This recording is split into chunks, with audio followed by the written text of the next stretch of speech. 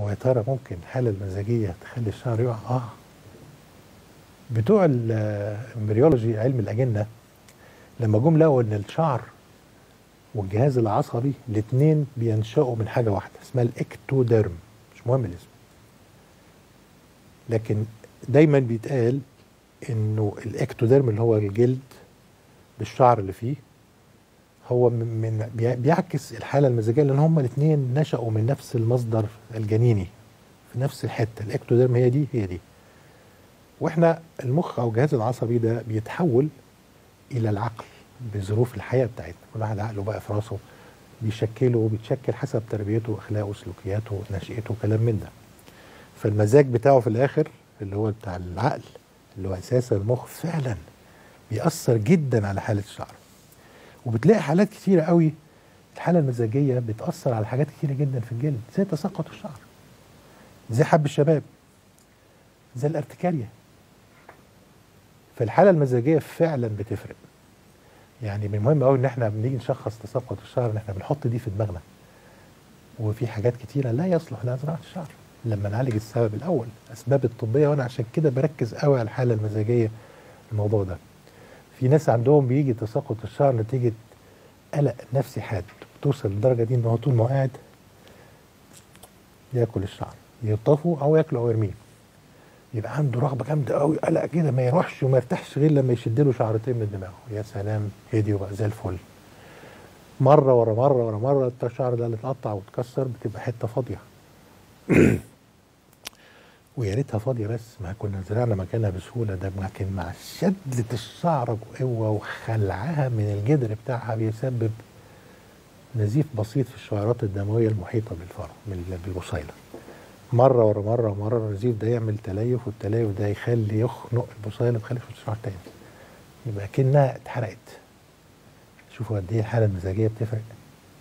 ساعات بتوصل إن الناس كمان بياخدوا الشعر وياكلوه تخش يسد معدتهم من جوه ساعات كمان من الحالة المزاجية الشعر اللي بيبيض هو إحنا عموما شعرنا بيبيض ليه؟ في أسباب طبيعية. ان إحنا بنكبر. بتيجي البصيله بتاعتنا في معاها حتة خلية حلوة كده ظريفة ربنا خالقها سبحانه وتعالى مع كل بصيله بتطلع الصبغه اللي بتلون الشعر. هنقول شعر أسود زي المصريين عموما. ساعات بيبقى شعر أحمر ساعات بيبقى شعر أصفر. المهم الخلية دي بيجي لها وقت تتوقف عن العمل. خلاص عمرها جه. الشعر يبتدي يبيض.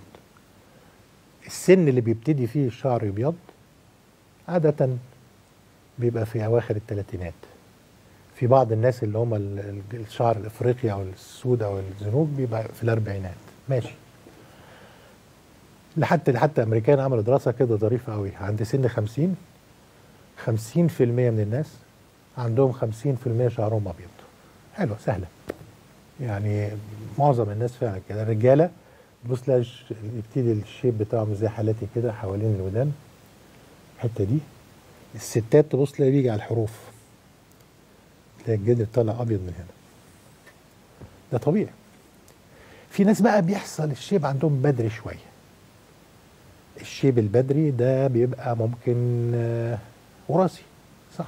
فبعض الناس بيبقى وراثي. وراثة عندهم كده familial لأن العيله دي بيبقوا شعرهم بدري شوية. في ناس بيبقى عندهم أسباب أمراض. أهمها أهمها أمراض في جهاز المناعة اللي هي بتبقى أحسن صورة ليها أو أوضح صورة ليها الثعلبه اللي تظهر في الشعر. الناس اللي عندهم ثعلبه حتت فضي بطش كده عندهم شعر أبيض كتير. في ناس شعرها بيبيض نتيجة أمراض.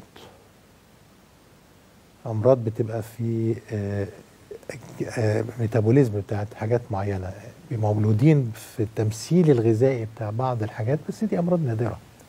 تلاقي موجوده أطفال وشعرهم أبيض. في أدوية بتعمل شعر أبيض. في أدوية بتخلي الشعر ابيض يعني كون إن الشعر ابيض دي معناها إن الخلية اللي كانت بتطلع اللون ما بقتش تطلع. مش معنى كده إن طلع لون أبيض جواها لا هي بقت فاضية. فبيبان لونها أبيض. يا ترى نقدر نخلي الخلية دي ترجع تاني؟ في أدوية فعلا بس الحقيقة نتائجها عايزة جرعة كبيرة قوي دواء اسمه para-aminobenzoic acid PABA P A B A ال PABA ده عايز جرعة كبيرة جدا عشان تخلي الخلايا ترجع تاني تشتغل. والنتائج ما هياش يعني ما حدش يتوقع. يعني الشعر بيض بدري.